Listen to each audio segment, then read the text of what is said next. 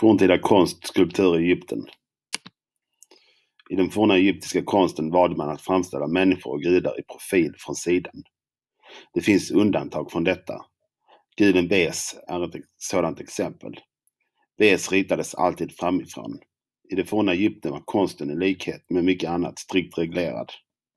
Det fanns ingen fri konst så som vi ser den fria konsten idag.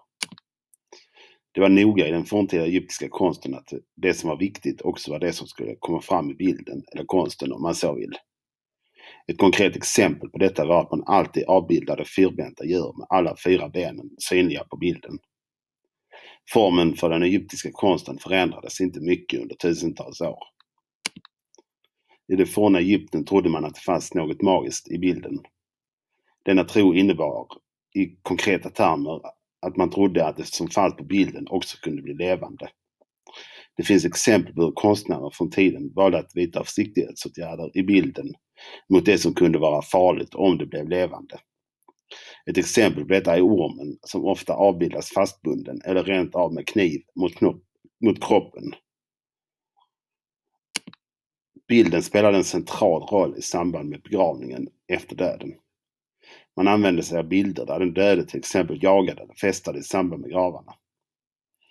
Att man använde den här typen av bilder berodde på att man trodde att det skulle leda till ett bättre liv för den döde efter döden.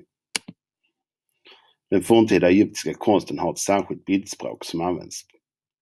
Här finns en likhet med den japanska mangan, som också den använder ett särskilt bildspråk, som inte förändrats särskilt mycket. Det finns alltid en betydelse i konstens bildspråk i den forntida egyptiska kulturen. Till exempel avbildas alltid männen med mörkare hy än vad kvinnorna gör.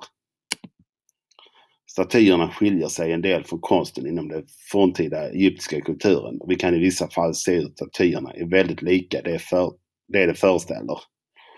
Bland annat rör det Nefertiti.